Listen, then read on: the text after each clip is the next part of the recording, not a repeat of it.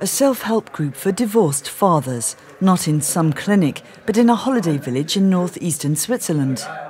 They're taking part in the Hallo Pa scheme. This gives them a cut price break with the kids and daily discussions with a psychologist. Was hat sich bei euch verändert nach der Trennung?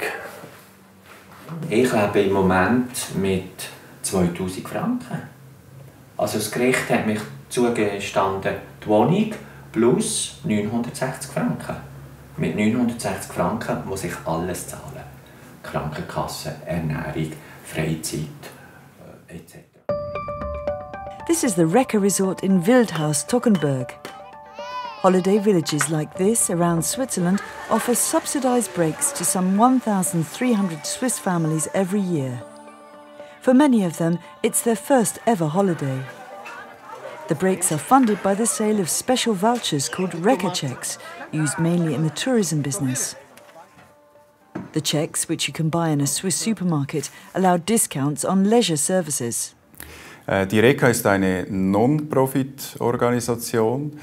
Äh, als solche erwirtschaften wir trotzdem einen Gewinn in Anführungszeichen und diesen Gewinn, den setzen wir eben für diesen Zweck wieder ein. Pro Jahr sind das etwa zweieinhalb Millionen Franken und das Geld entsteht eigentlich aus dem RECA-Geldkreislauf.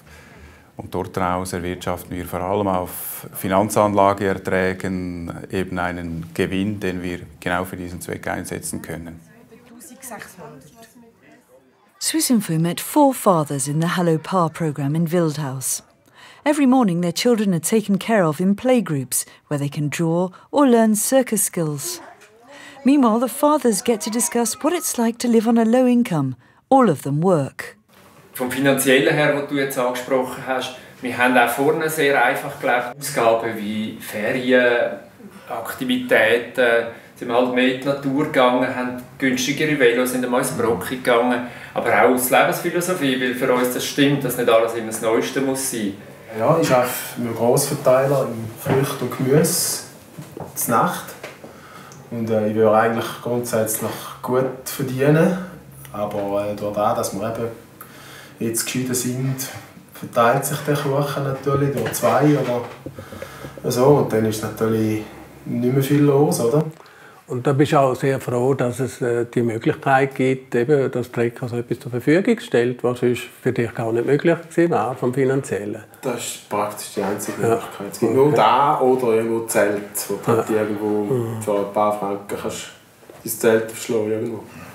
Und auch die Ferien mit Reka zum Beispiel, das ist auch von mir Video, ist mir die Wichtigkeit, dass du zusammen die Felder kannst, äh, Gedanken austauschen. Und auch wichtig, das Kind Vielleicht sie auch ein bisschen wie andere Kind getrennt.